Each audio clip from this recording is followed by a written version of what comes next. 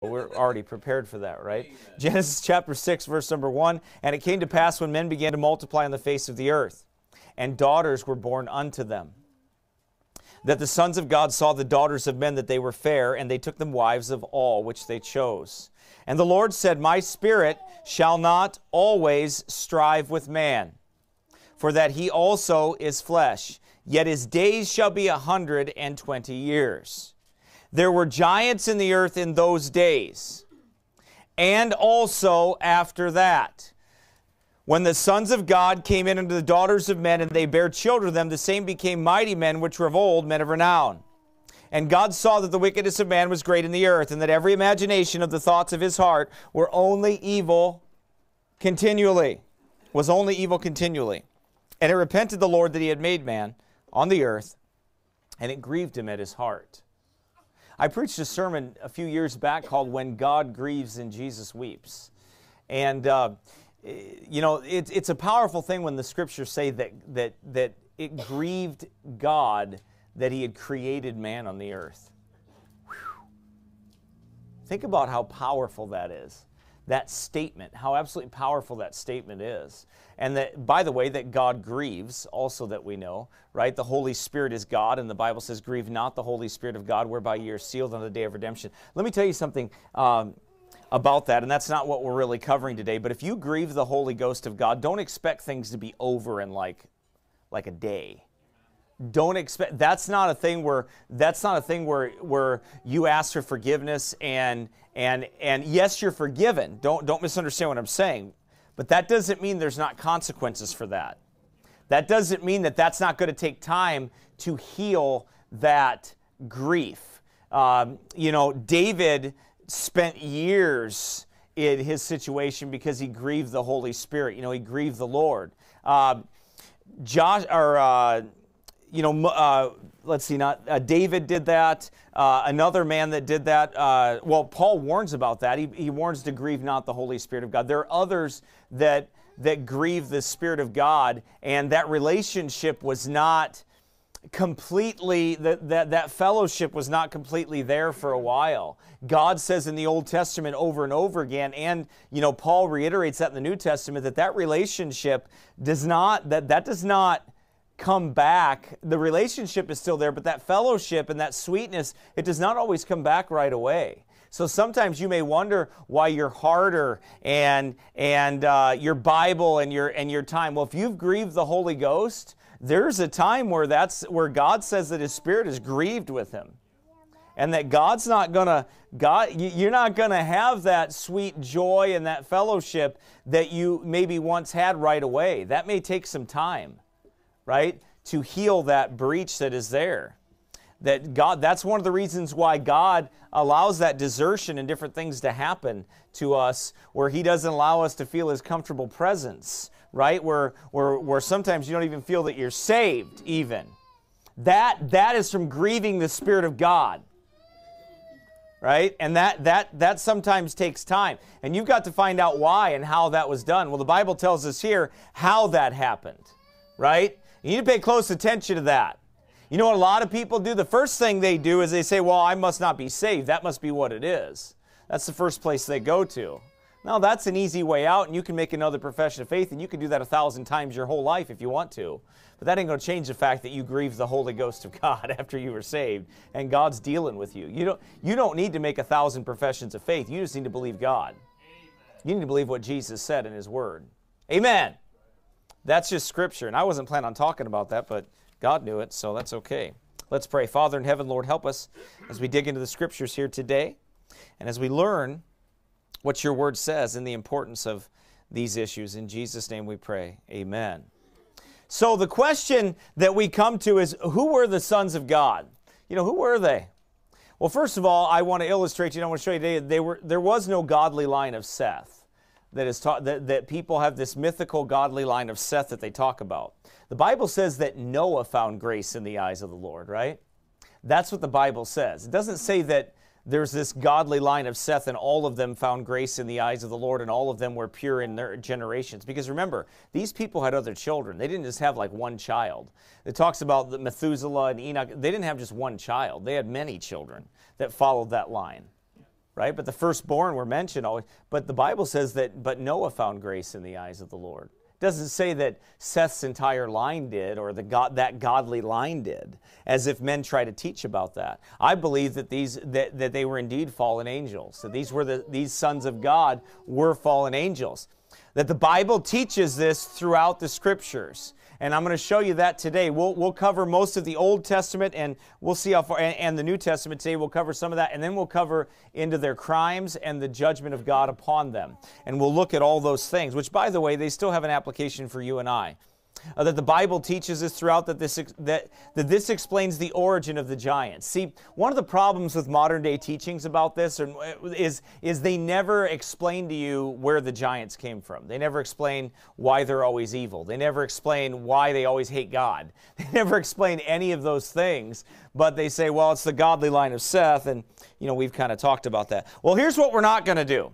We're not going to use the book of Enoch. Okay, that's what we're not going to do. Not, I'm not going to say, turn to the book of Enoch here, and uh, I, am not going to do that. We're not going to use spurious accounts, historical accounts of giants and, and, and sons of God and, and all those other things. I, I may do a supplemental teaching, like I said online on Tuesday, about some mythical accounts just to show you that people have talked about this, and there's nothing wrong with doing that. We're going to use the Bible, we're going to use the scriptures, right? Uh, we're not going to use mythological tales. We're not going to go through that and, and, and show you all those to try to prove our point. We're going to strictly use the scriptures all the way through because that's where, that's where the power is. That's where the authority is. That's why I stand up before you today is on the authority of scripture. Amen? So that's what we're going to use. And we're not going to use the Hebrew or the Greek because I don't know either one of those. So I couldn't help you with that. It'd be really bad if I tried to preach to Paul in Hebrew, right? And, uh, or, you know, preach to Brother Scott in Greek, right? It wouldn't probably wouldn't work out very well. So I'll just use the English, okay, and my broken English at that. Okay, you know there there are a lot of people that say there are missing books of the Bible. Okay, they say if you, if you notice here that's uh, missing books of the Bible removed in the 19th century, right? So they they try to tell you, and then they'll take their spurious accounts of the the sons of God and the giants and all those things from these spurious books that are in history, and they try to do that. Uh, uh, the book of Enoch is, is so popular for people. When I first taught this years ago, I said it a thousand times, 10 years ago, 11 years ago now, I talked about the book of Enoch and I read some things out of there, not like it was scripture. I, I, I made that very plain and evident and clear. I was showing that there, but you know what? The more that I got attacked for that, the more I said, well, you know what? That's fine. I just won't use it. Um, and uh, I'll just teach you right from the Bible. And I did. And people still don't want to believe the Bible. So uh, then that's nothing you can do about that. Uh, but also, along, along with these missing books goes the theory uh, of the flat earth as key to decrypt the book of Enoch, right? The flat earth is, you know, I don't know if you know this, but the flat earth is the mystery that unlocks every, it's the key that unlocks every mystery known to man. If you, if you know the, if you know about the flat earth, you can unlock everything, right? You can, you, I mean, it's just like a key that if you know about the flat earth, you know everything. I, it's amazing, isn't it? open pickle jars and everything. That's right. Treasure chests will open up to you. And but what is the flat Earth? It's a psyop to distract away from geocentricity.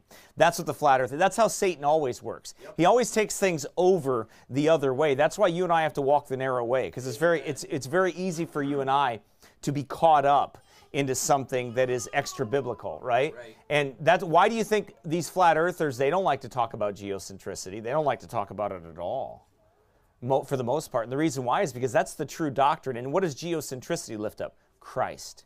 It exalts Christ. That's what the doctrine of geocentricity does. Amen. So because it does that, uh, that's why that's why uh, they hate it. But they would rather lift up. And they, by the way, most of these flat earthers, these people, they all like the Book of Enoch. They absolutely love it, right? So we, we went over these scriptures. We talked about these. Um, these, uh, these main scriptures, these, these scriptures have been argued about for years. Uh, there have always been two sides of that story. Some believe that the, that the sons of God were the godly line of Seth. Uh, others believed that, that they were, as they studied the sons of God in the scriptures all the way through, they believed that they were angels or the in this case fallen angels that had left their first estate which we're going to talk about. And we're going to we're going to break it down systematically and scripturally through the bible in order for us to remember these. Now when it's review for some people that's fine but you can also when people say man you guys are you guys are kind of nutty to believe that kind of stuff. Well people will always say that about the scriptures. If you believe things like by the way like geocentricity. If you believe uh, the, the doctrine of geocentricity well you're automatically a nut then there's something wrong with you i mean don't you know science, right? And that's what they'll say. Because really, uh, by the way, this sons of God, daughters of men, and the giants all defy evolution. All of those, do- the reason why they're, they are hated and looked about on like that as, and by the way, guys like Ken Ham and other guys like that, they just answers in Genesis. Those guys just can't hang with these type of teachings. They have to explain away a lot of those things. The reason why is because they're afraid of being embarrassed. They don't want people to be, they don't want people to think they're that weird. Right? They just don't want, they don't want them to think they're that, they don't want to lose credibility. Right? Like if you talk about these doctors, you're going to lose credibility. Well, if it's Bible and you don't believe it, I don't I'm not the one with the credibility issue, it's you. Amen. I believe what God's word says, right? So we have to find out who these sons of God were. Defining them is the key for us to understand the lessons that God has for us here. So we're going to look at every reference. Now think about Methuselah. He was the oldest man to ever live. And many believe his name means when he is dead, it will come. Right? So many people believe that. They, have they, you know, debated that kind of and, and everything, which is not that important. But the point is that right a year after he died, or a year, right, the year of his death, in comes the flood.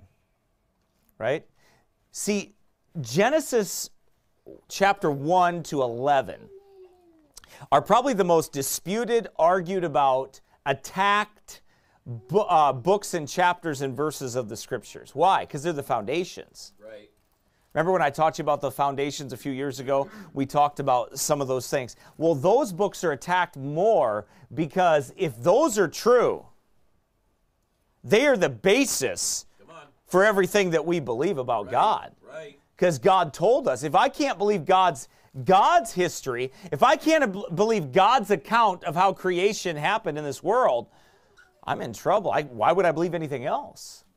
I can't believe anything else in the book if I don't believe what Genesis says. Because every major doctrine of the scriptures is found in the book of Genesis. They all are, right? So, the days of Noah.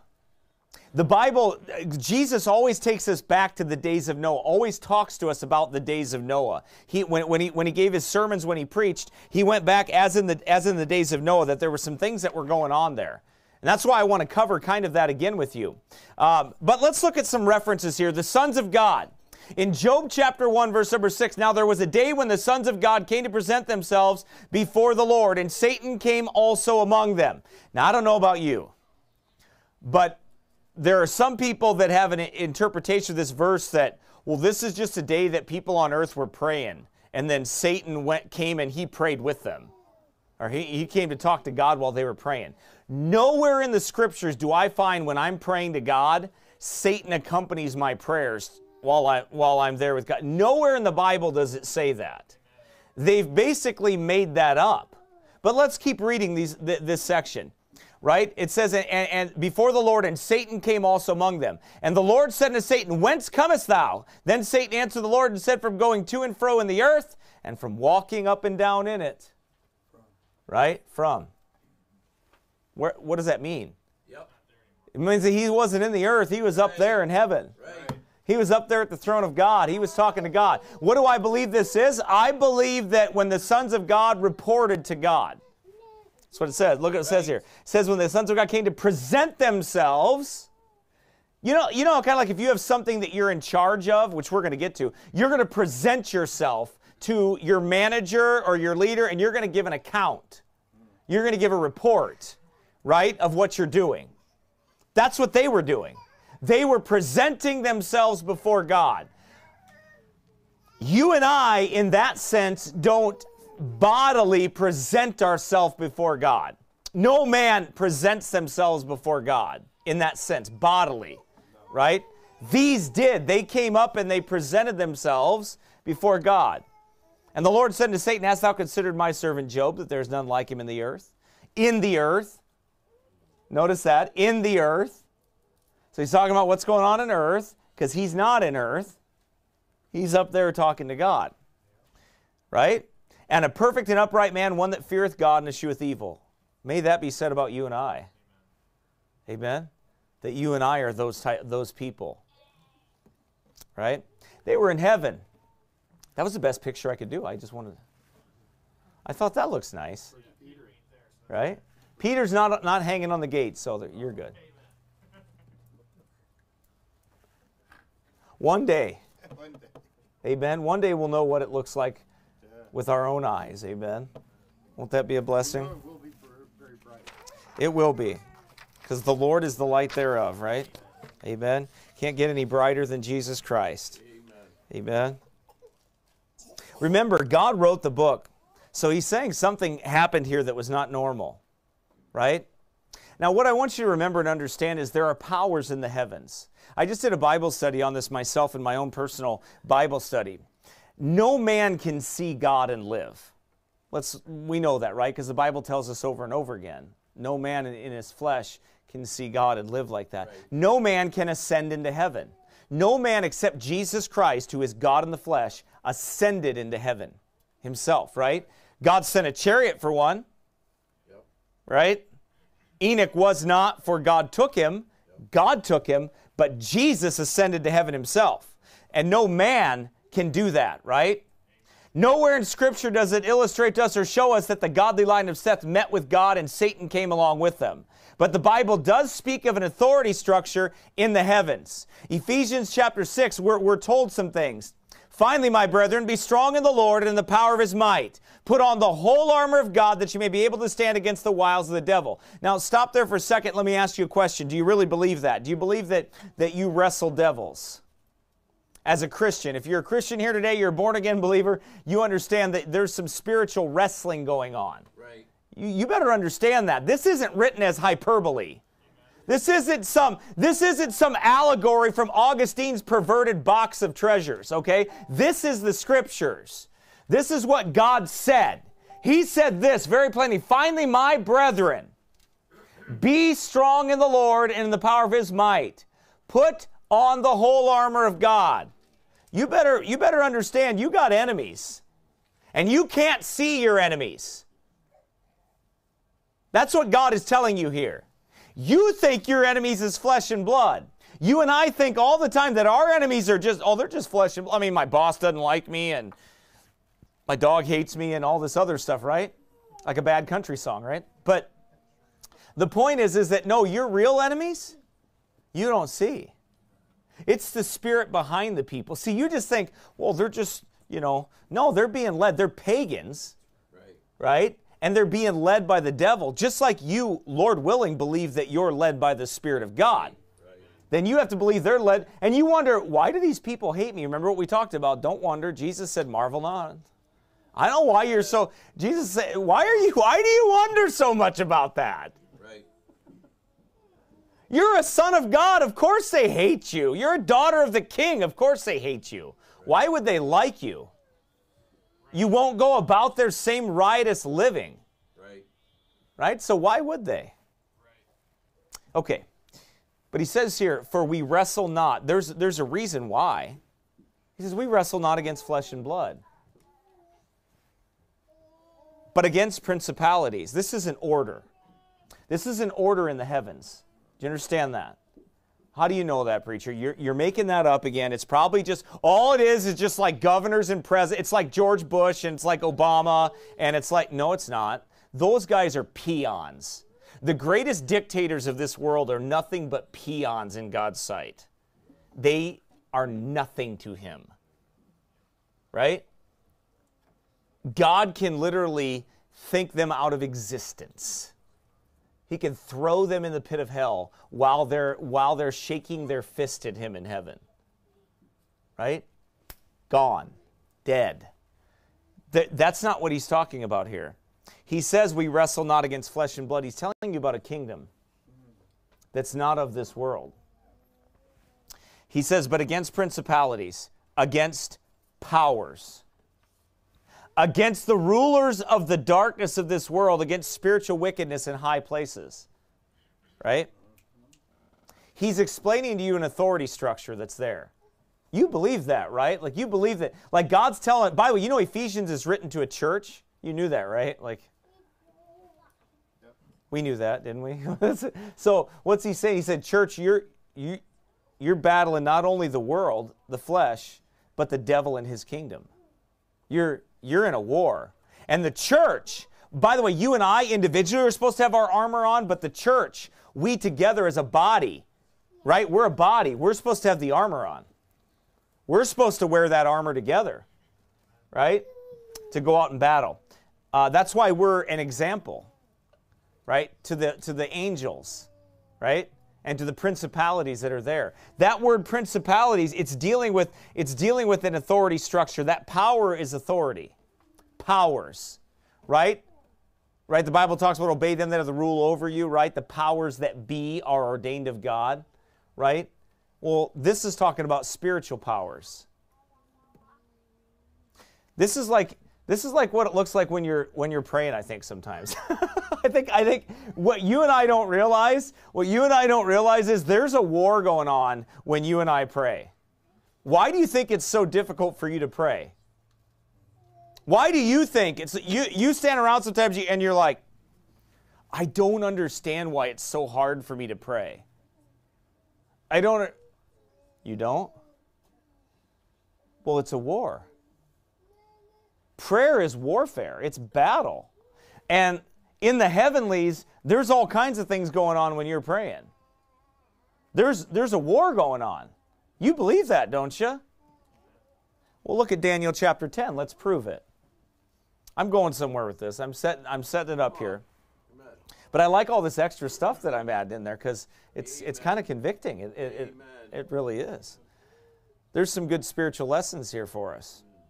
Daniel chapter 10, verse number 12. Then said he unto me, Fear not, Daniel, for from the first day that thou didst set thine heart to understand and to chasten thyself before thy God, thy words were heard, and I am come for thy words. But the prince of the kingdom of Persia. Now there it is. Remember that principalities? Remember that?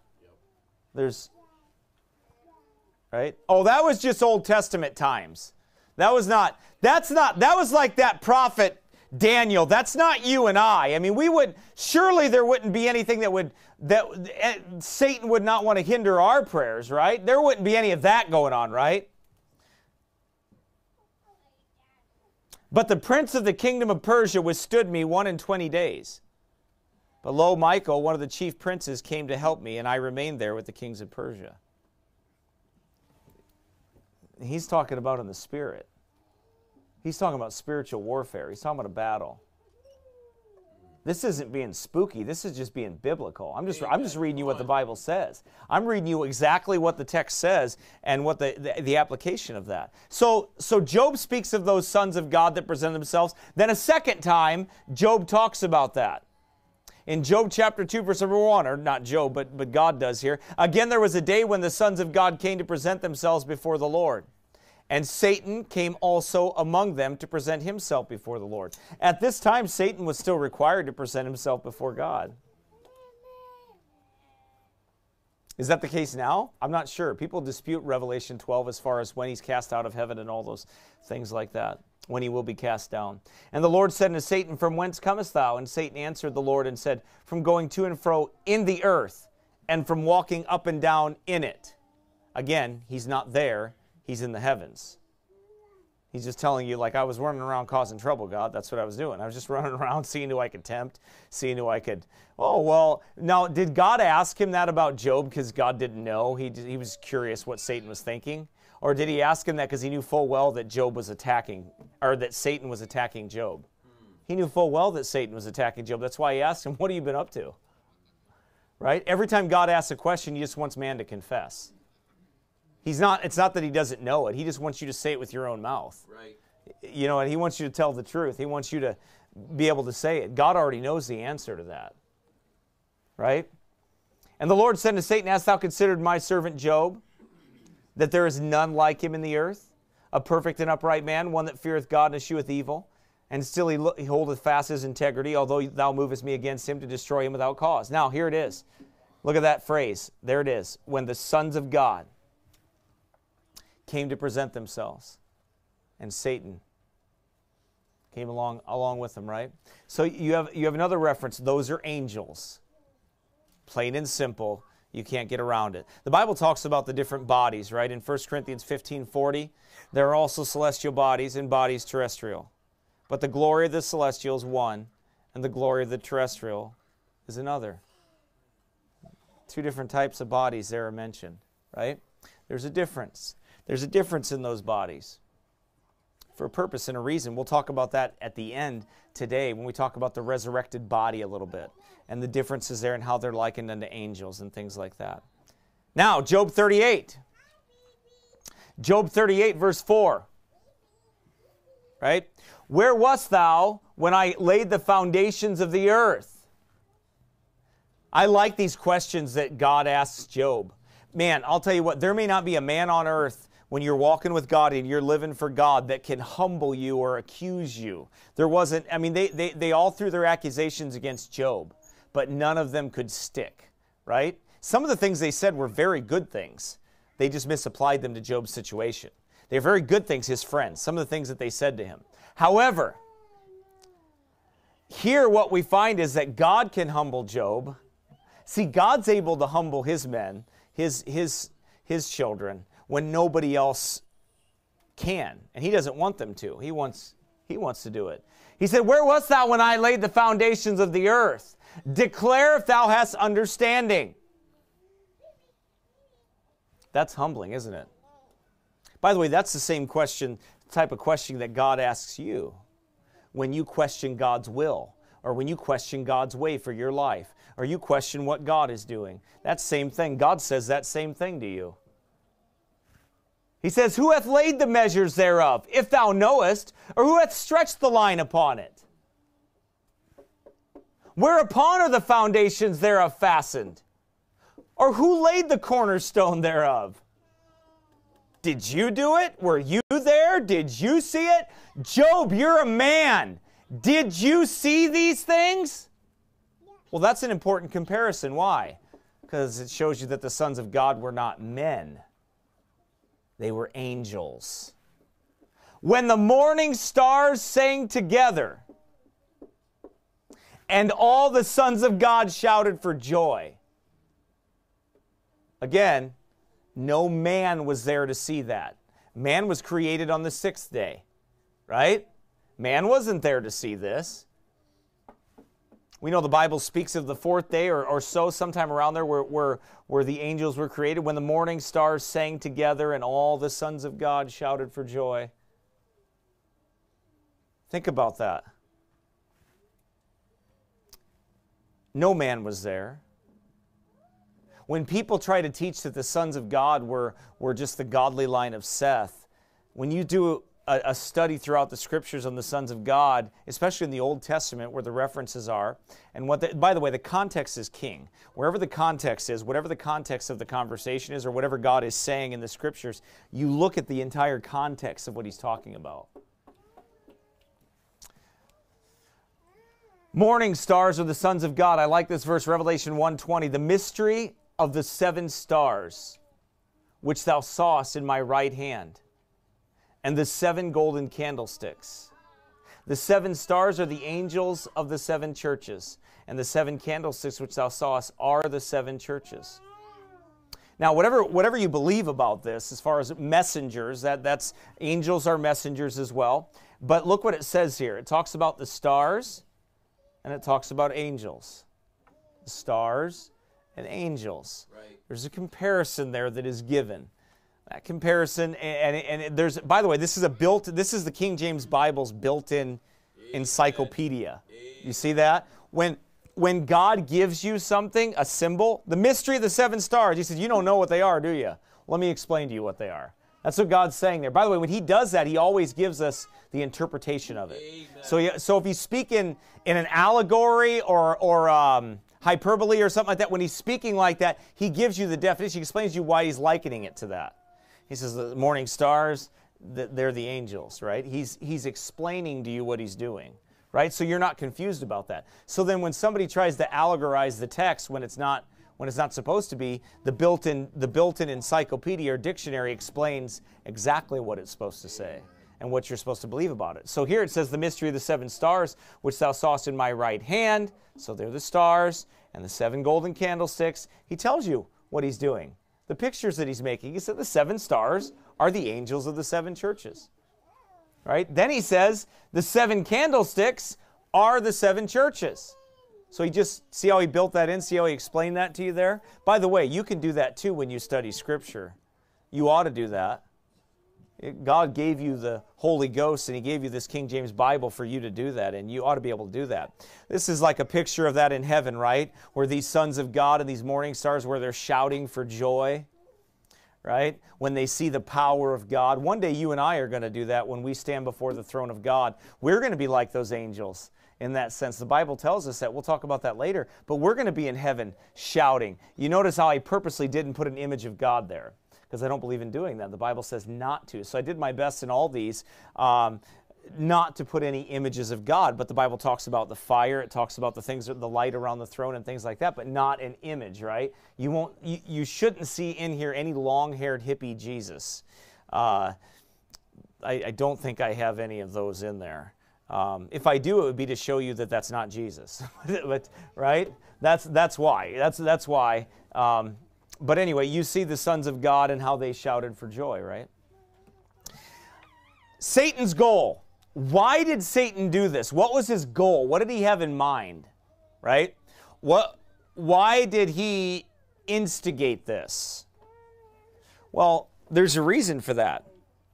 It's Isaiah chapter 14 speaks to us about why what Satan's goal was. Okay? Lucifer. For thou, in Isaiah 14, 13, for thou hast said in thine heart, I will ascend into heaven. I will exalt my throne above the stars of God. Wait, what is that? Two things. The stars, right? The actual stars that are out there, which I do not believe are the same thing. I do not believe those things that, that I look at at night when I walk down my driveway are angels. No, they're pictures. He explains that they're pictures. Those aren't angels up there sitting in the heavens. I don't believe that. Um, are there angels in the heavens? Yeah, but you can't see them. You ain't going to see those angels. You can't see. You can't. You're not going to see them unless God brings, God would send one to you for some reason. And if you're starting to see some angels, we might have to have some talks. What's that? That's right, unawares. You see what he said? We don't know it. And then afterwards, you're like, man, what was that? Unawares, right? But anyway, so it says here, For thou hast said in thine heart, I will ascend into heaven. I will exalt my throne above the stars of God. Well, he was a he wanted Satan said he will exalt his throne, and he has a throne, by the way. It says it right there. He has a throne in the heavens but he will ascend, right? He will exalt above the stars of God. I will sit upon the mount of the congregation in the sides of the north. I will ascend above the heights of the clouds. I will be like the Most High. Those stars of God, both, he wants to exalt all, all himself, but above those angels, those sons of God, that he would be on the top of the food chain, so to speak, right? That he would rule those that have fell right? That he would do that. But again, you see stars, you see sons of God, you see the same connection through to that, right? This is what Satan's goal has been. This is why he would do what he was going to do, and, and there's more to come with that. Uh, let's see, Revelation 12 4. And his tail drew the third part of the stars of heaven, and did cast them to the earth. And the dragon stood before the woman which was ready to be delivered for to devour her child as soon as it was born. Okay, now, are you ready for this? Remember I told you about the built-in dictionary? The built-in encyclopedia, right? You wonder what something means? Well, here it is. This is telling you what it means. And his tail drew the third part of the stars of heaven and did cast them to the earth. Well, what does that mean? And the dragon stood before the woman which was ready to be delivered for to devour her child as soon as it was born. Revelation 12 9. And that great dragon was cast out. Well, who's the great dragon? How do we know who that is? That old serpent. Well, who's that? He's explained it to you. That called the devil right. and Satan. Well, there you go. Where's the old serpent? Genesis chapter 3, that's the old serpent. Right? He's the dragon. Satan is the dragon. But who are the stars? Who are the stars? He's explaining to you who the stars are. Right? Who are they? He was cast out of the earth, and his angels were cast out with him. They are. They are. He's telling you that he's explaining that these stars that he's speaking of, right, are those morning stars that sang and all the sons of God shouted for joy. Those are the fallen ones, and this is what's happening in verse 4 is being explained in verse 9. He, I mean, he's telling you plainly what that is. So you're not confused about that, right? About the picture or the typology or the emblem that he's using to describe them.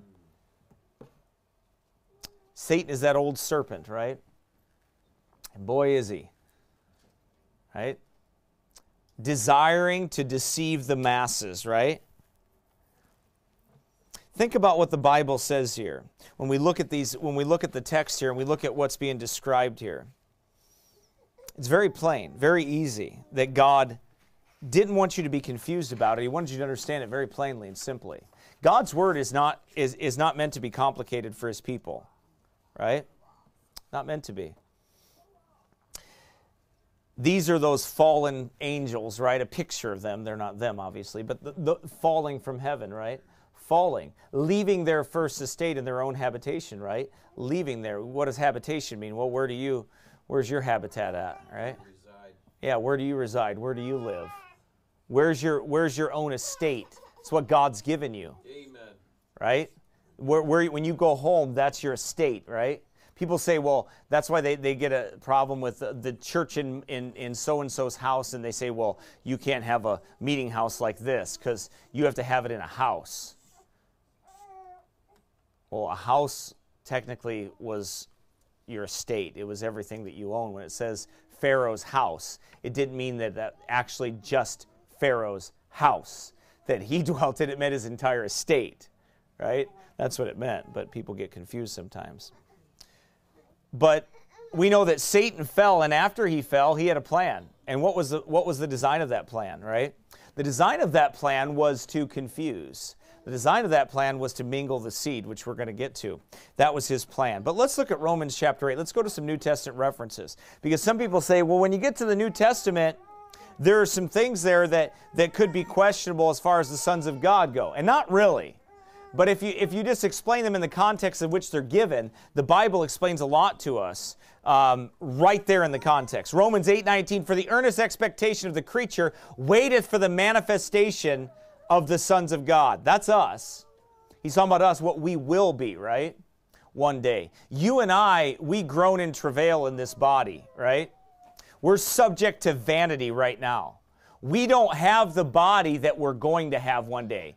You know, when you wake up in the morning and your back hurts, maybe some of you don't have that yet, but hang on, you will. Uh, your, your body's in pain and you have different things going wrong. Uh, you got to wear glasses, right? Because your eyes start failing you. Uh, all those other things that you have to do, health things you have, you got to get a surgery on your back or you got to do all those other things, right? That's this flesh.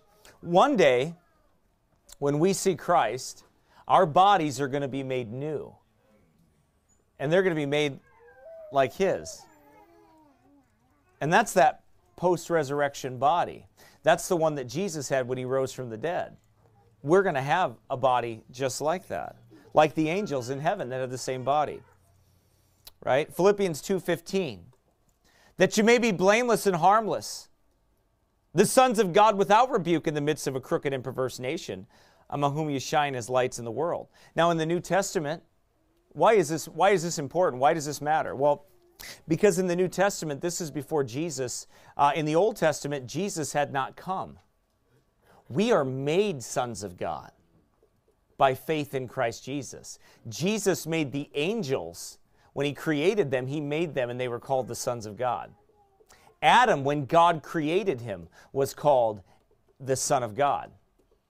Why? Because God was his father. God created him right? You, when you get saved by the grace of God, you are called a son of God. You are a son of God, right? Why? Because you were regenerated, born again from above, right? Born from above, born again, regenerated into the family of God. This is what the scriptures talk about in the New Testament. That wasn't the case in the Old Testament like that. It wasn't until Jesus rose from the dead, until Jesus came, right? 1 John 3 2 talks about that. Beloved, now are we the sons of God. You and I. Now, by the way, you can know that. You can be saved by the grace of God. Have your sins forgiven you. Brother, now are we, beloved, now are we the sons of God. And it doth not yet appear what we shall be. But we know, I like John's book. He talks about that over again. But we know, study, I studied that one time. We know, we know, we know. Amen? We know. Amen. That's the Bible, friend. We know. You know what's not there? We feel. We feel. We feel. Yeah. Or we think, right? No. It's we know. Amen. Why? How do we know? From this, God's Spirit, and this Word. What you know will trump everything you feel. Or if you're not walking in the Spirit, what you feel will attempt to trump everything you know. Those things are not the same. They are not always the same. Amen. Thank God you don't have to feel it. You got to believe it. Amen. Ooh, this flesh don't feel nothing but hell sometimes. Right? Amen. The Bible says your tongue is it's set on the fires of hell. Right? Beloved, now are we the sons of God, and it doth not yet appear what we shall be. But we know that when he shall appear, we shall be like him, for we shall see him as he is. One day. Amen. Revelation 22 16. I, Jesus, have sent mine angel to testify unto you these things in the churches. I am the root. He's the root. Amen. I like that. Think about that for a second. He's the root. Right? When you got saved, the Holy Spirit of God comes inside of you, right? And that seed falls in there, digs down deep, and makes its roots. And then eventually, as time goes by and you serve the Lord, it springs up. It grows. Deep roots. Deep. Amen? Deep roots. I, Jesus, have sent mine angel to testify unto you these things in the churches. I am the root and the offspring of David, and the bright, look at that, and morning star. See, you can't, you, you have to willfully deny these scriptures when you go through there of what the Bible is illustrating here. You know what I mean? You have to. Now, here's the argument that comes up. People say, well, Jesus talked about uh, angels and Jesus talked about some of these things, and, you know, it doesn't seem like uh, that that that's that that's applicable, right? Because Jesus said angels in heaven uh, don't marry. Well, that's the key phrase right there. That's the key. You know, every, you believe in every word Bible, right? Right? Matthew 22. Let's look what it says here. Matthew 22, verse number 28. Therefore, that Jesus was asked a question. Uh, if a lady has, you know, seven husbands, seven brothers, right? One dies, the next die, the next die. In the resurrection, who's she married to? They were trying to stump him. They were trying to stump Jesus. And Jesus he said, You do err not knowing the scriptures, right? Ba- basically, in modern day terms, he was like, You don't even know what you're talking about. I mean, your question has it has no biblical basis at all right? It's not even practical. It's not logical. Why is that? Because they did err not knowing the scriptures. Matthew 22 28 therefore in the resurrection whose wife shall shall she be of the seven? For they all had her Jesus answered and said to them, You do err not knowing the Scriptures, nor the power of God. For in the resurrection, they neither marry nor are given in marriage, but are as the angels of God in heaven. They are as the angels of God. Now, we're going to explain that more later, okay, uh, this afternoon. We're going to explain that to you. But Jesus is telling them that you don't understand. Those angels in heaven, they don't need to get married. Like they don't they don't have that desire. The fallen ones did. Say, can you explain that? Nope. I can't explain why you and I do the things we do. Right. Just rebellion. Depravity and rebellion. Right? But anyway, he talked about that and he explained that that those that those angels in heaven don't do that. But we're, we'll, we'll get into that later on. John chapter 1 verse number 12. But as many as received him. By the way, that's you and I if you've been saved. To them gave he power. Man, that's power. You believe that, don't you? Oh, I do. I do because I know what I was like before I was saved. I know what I was a child of the devil, a depraved man, given over to my passions and my desires. And then Jesus saved my soul, and there's a fight there. There's a fight against evil, there's a hatred of evil. Amen. There's a desire to follow Christ and to obey Him in all things. Right? Why? Because to them gave He power. You believe that, don't you?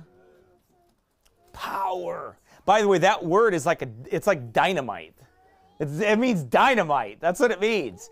That I remember a preacher, man, when I first got saved, there was this preacher, my my pastor, this old cassette tape, and he played it for me. We were driving around, we were we were going uh, uh, soul winning. We were out soul winning, knocking doors and, and visiting people. And we were together, him and I, and he played this sermon about, and this preacher was talking about the Holy Ghost blasting things out of your life. You know, the Holy Ghost is like dynamite, you know, the power that he gives us, right?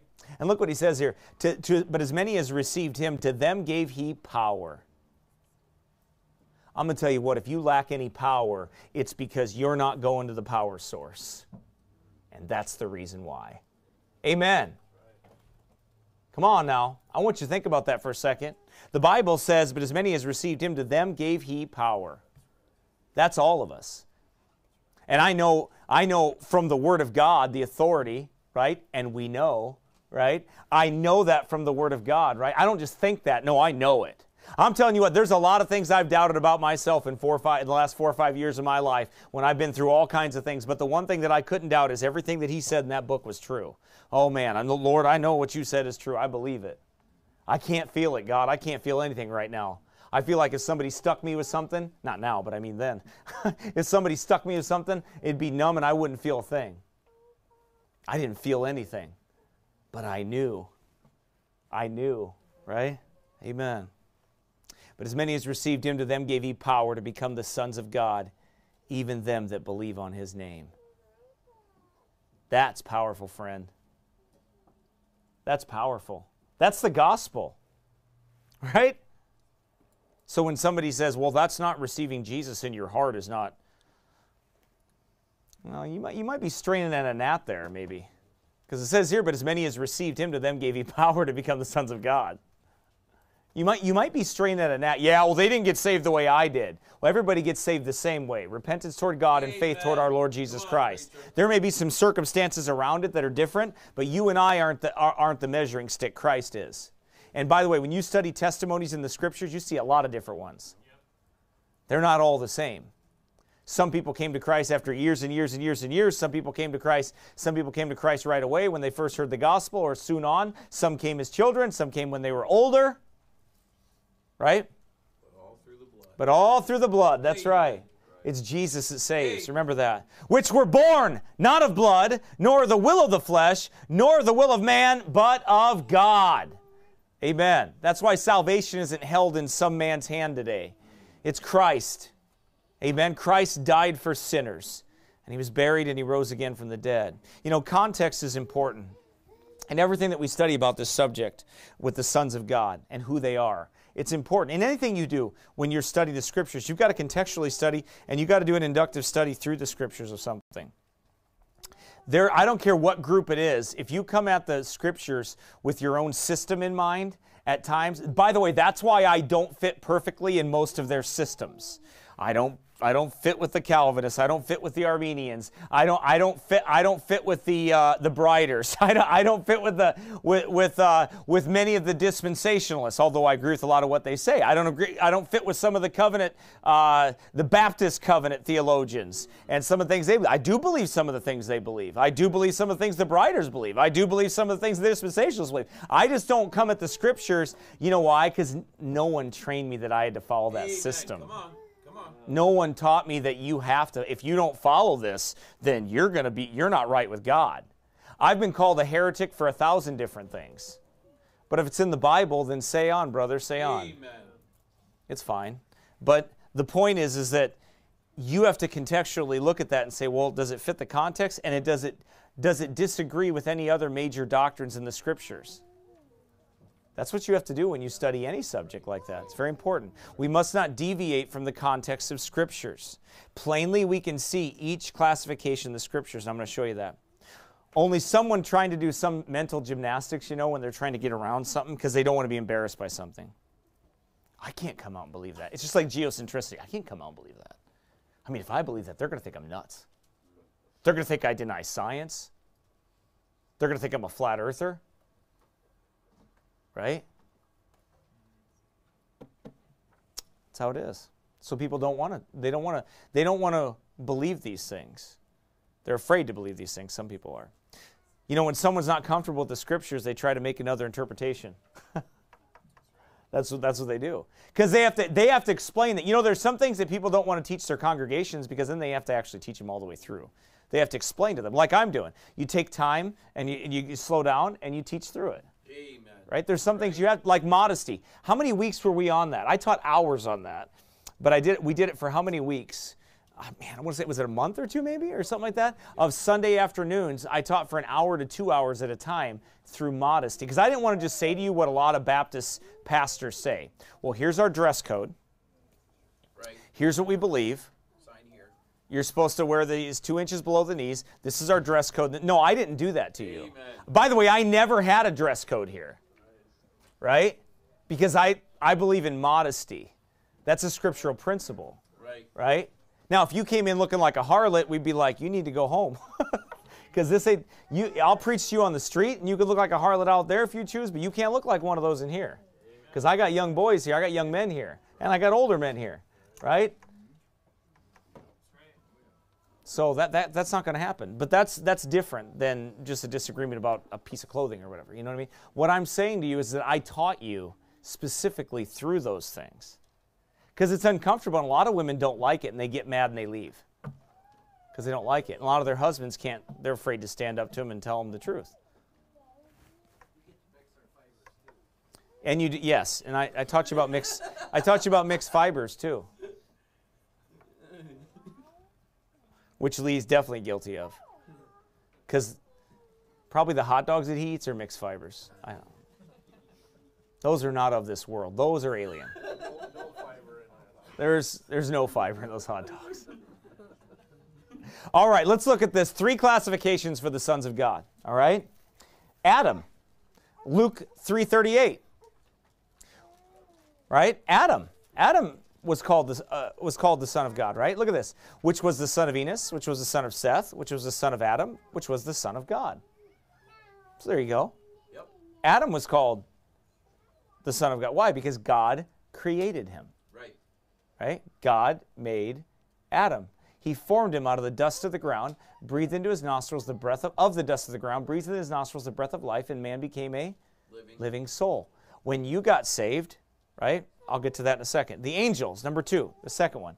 Genesis 6 and other places in the Old Testament speak of the stars and the sons of God and the morning stars. That's a classification, right? And why? Because God made the angels, right? And, and He called them sons of God. That's what He called them. Why? Because He made them. He's the Father of His creation. Right. God is the Father. In that sense, God is the Father of all men. Not in a covenant sense, not in salvation by, by grace through faith. That's a different one. We're adopted sons of God, right? When we get saved. But God is the Father of all creation. That's why you're to love your neighbor as yourself. That's why you're to love your enemies. That's why you're not supposed to kill people, right? That's why. Why? Because they were made in the image of God. God made them, and God is their Father. So in that sense, there's nothing, there's nothing wrong with saying that, as long as you explain that God is the Father of creation. There's not, that's not sinful. That's not wrong to say, right? And that's not teaching a universal salvation because they have to be born again. Why? Because they fell.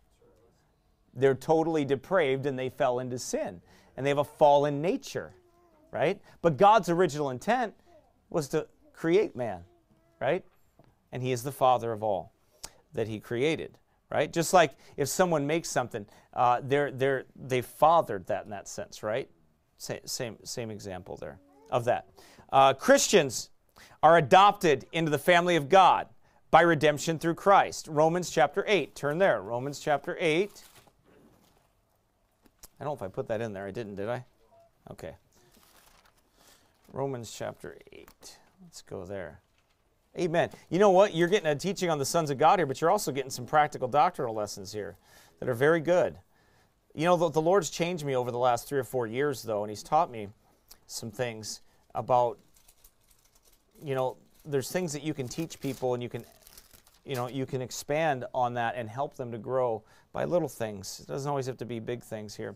And I like mixing it up a little bit. That's why I want to teach you some of these PowerPoints here for a few weeks and I just felt led of the Lord to do that. Where I was at in Joshua, I just the Lord wanted me. I knew that God didn't want me to keep going. I just knew it for some reason that God didn't want me to keep going at that time. I was going to stop there and do something else for a while. And um, you know, there's nothing wrong with that. Amen. Uh, Romans chapter eight, verse number fourteen. For we know that the law is spiritual, but I am carnal. Oops, that's the wrong one, but that's a good one too. That was seven. Uh, Romans eight, fourteen. For as many as are led by the Spirit of God, they are the sons of God. For you have not received the spirit of bondage again to fear, but you have received the spirit of adoption, whereby we cry, Abba, Father. Amen. I like that, don't you? The Spirit itself bears witness with our spirit that we are the children of God. By the way, you notice in the context of what he's talking about, it's when you're in trouble. you see that, right? When you're in trouble, he said that's when the Spirit beareth witness with our spirit when you're crying out to God, oh God, you got to help me. Yep. That's that's when when trouble comes. Right? When you're afraid. When you're in fear. That's when you got to that's when you got to turn to the Lord. Right? And if children, then heirs, heirs of God, and joint heirs with Christ, if so be that we suffer with him that we may be also glorified together. Amen? That's good stuff, isn't it? So, Christians are adopted in the family of God. When we get saved by the grace of God, the Holy Ghost of God comes inside of us. He seals us unto the day of redemption. Jesus pictured that when he breathed on his disciples and said, Receive ye the Holy Ghost. Right? That's the picture of that as well. That's that regeneration. When you are regenerated, you are born again. You are given genes from above right? You are made in the image of Christ. Amen? When you get saved, you're, you're made in the image of Christ. You're, you're, you're born again.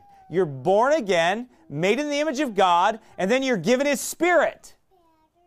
And with that Spirit, when trouble comes and trials come, you cry out, Abba, Father. Amen. And some of you might be too stubborn to cry out, Abba, Father, when you're in trouble. Some of you might be cold hearted a little bit.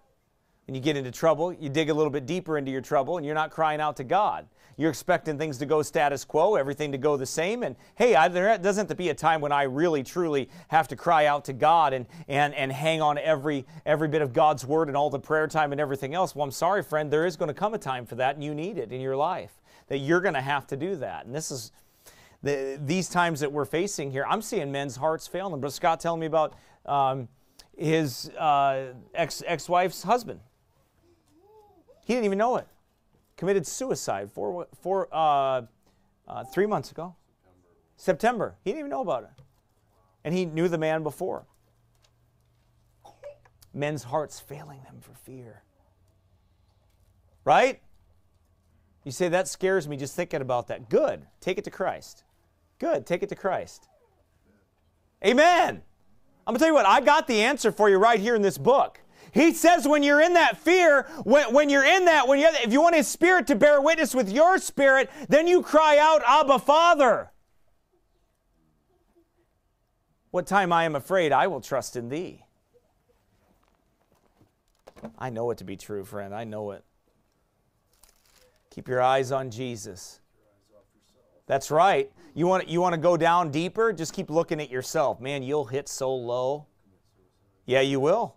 That's right. You keep your eyes on yourself, you'll end up wanting to die too. You can't do that, friend. You can't do that. Mm-mm-mm-mm. Right? And then we have Jesus Christ as the eternal Son of God. We're made in His image. So we are the sons of God. What do you think those angels, how they were created in that sense? They always come as what? Who knows how angels always appear? Lucius. As men. They always appear as men. Why? Christ is a man. Amen. Christ is a man. He's the God man, Christ Jesus.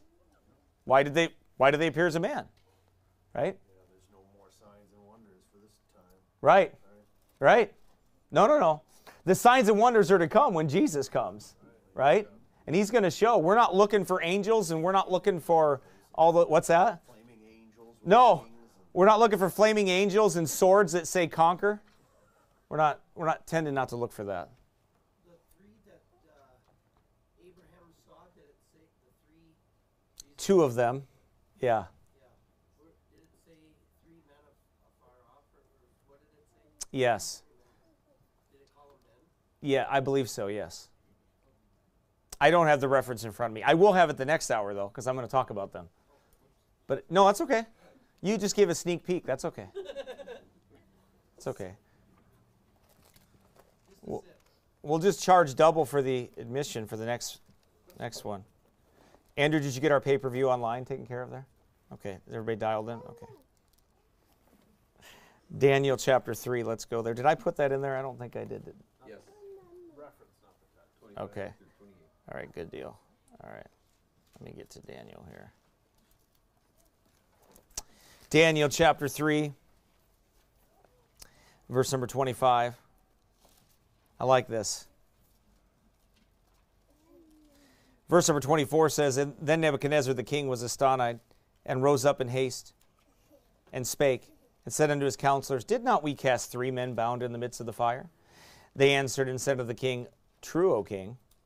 He answered and said, Lo, I see four men loose, walking in the midst of the fire, and they have no hurt. And the form of the fourth is like the Son of God. That's the capital Son of God. Amen? Yep. Amen. That's Jesus in the fire.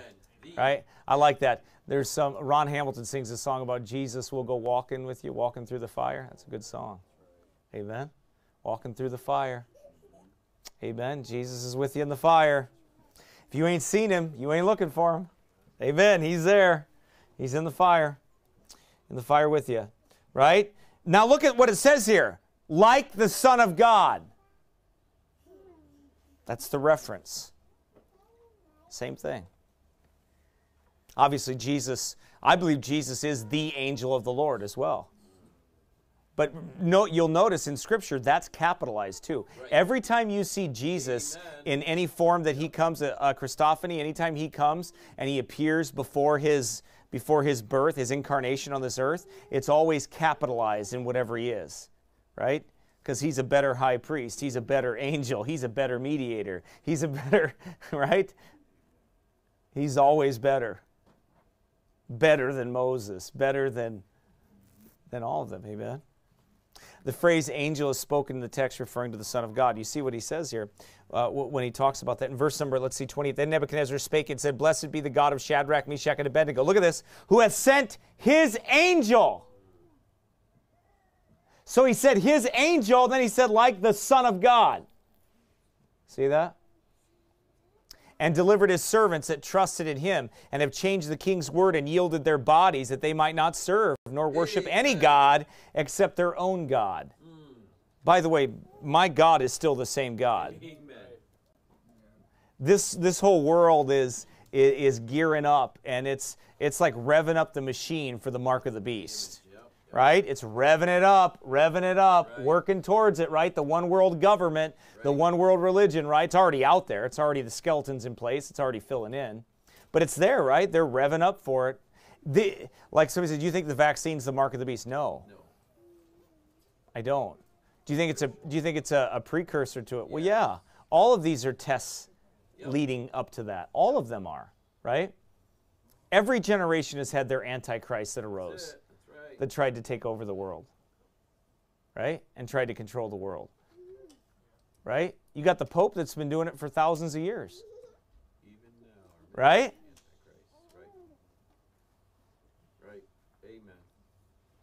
Like that, like Pope Benedict, he's over there and uh, he's supposed to be the retired devil, but he's still talking sometimes, and he's a stinking nasty pervert. And uh, he says, "Well, yeah, there were." There were some mistakes with the child pedophilia cases. There, there were some mistakes there, but he didn't do anything wrong. Well, of course not. When you believe he's God in the flesh, of course he couldn't do anything wrong, could he? Right? That's what their doctrine believes. That's what they believe. He's the vicar of Christ, right? So, conclusions here on the sons of God. The sons of God in Genesis 6 are clearly fallen angels, they're not human, Right. right? Every Old Testament reference is to angels. Every time the con- in the context you see it's to angels. Nowhere in the context do they refer to men in that sense. Sons of God, daughters of men. Right? After Christ's coming, the New Testament refers to Christians as sons of God. Why? Because we're made into his image by his death, burial, and resurrection.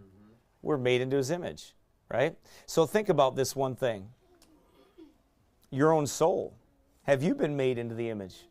Right? Have you been born again from above? Have you been forgiven of your sins and cleansed of your unrighteousness? Have you been saved by the grace of God? Has there been a time that you repented and put your faith and trust in Jesus Christ? Because I'm going to tell you what, the only way that you can cry out, Abba, Father, the only way you can be forgiven of your sins is through Jesus Christ. The Bible says, But as many as received him. Who? Jesus. As many as received him, to them gave he power to become the sons of God even them that believe on his name. That's the gospel. That's the power of the resurrection. Right? When the Bible speaks of that power, it's speaking of that resurrection power. Because you know there's the death and then there's the burial, but then there's the triumphant resurrection. Right? There's a dying, there's a burial, and then there's a resurrection.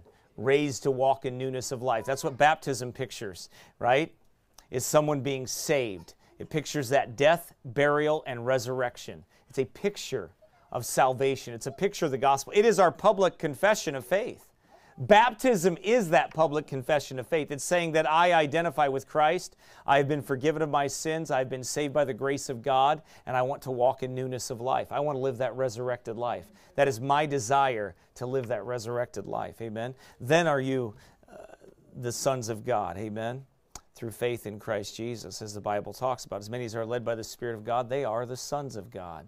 So that's talking about the new, the new man in Christ, right? But as we go back here, who were the sons of God? I think we understand who they were now. This lays the foundation, the beginning. This afternoon, we're going to talk about what their crimes were and what God and, how God judged them and the judgment on the on the sons of God. We're going to cover both of those probably uh, later on in the afternoon. We'll have one combined. I think I'll probably do a combined teaching on that, and we'll do the whole thing, uh, two and three together. But hopefully, this this lays the basis for you to understand. Some of you have heard this before, some of you haven't, but it, it, it lays the scriptural basis down. Then we find out why, and then we're going to talk about why this is so important.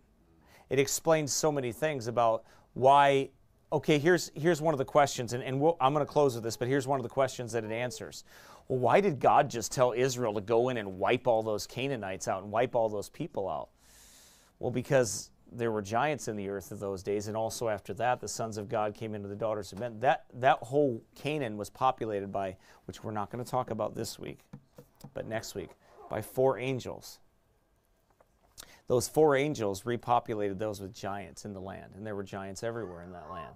Well, look at all the tribes of giants that they fought. They fought the Anakims. They fought the what were they? The parasites and the not parasites. You've, some of you have fought those before. Those aren't fun, but uh, those parasites are nasty, aren't they? But uh, they're not that big though, like parasites. But anyway, all those, all those, the Zuzims is that one of them? Jacob's favorite one. They were red-headed giants, I think. No, I'm just kidding.